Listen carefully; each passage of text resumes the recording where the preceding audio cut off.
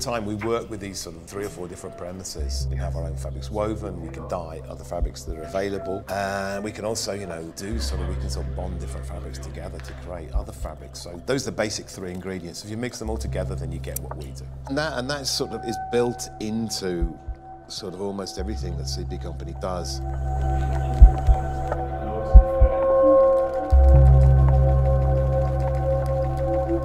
Of course,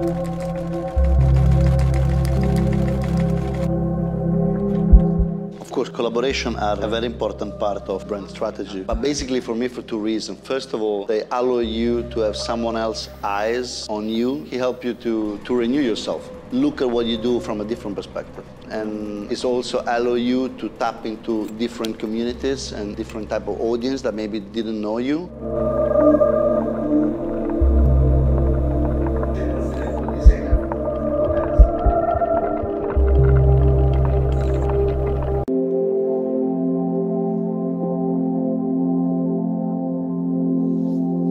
Fluorescent colours aren't stable to, to sunlight. When you do it on cotton, they become sort of um, sensible to light. So the idea is that these pieces fade out. It fades with time. It will reflect the way you wear it, where you live. It's like a diary of sort of, you know, how, how your life is.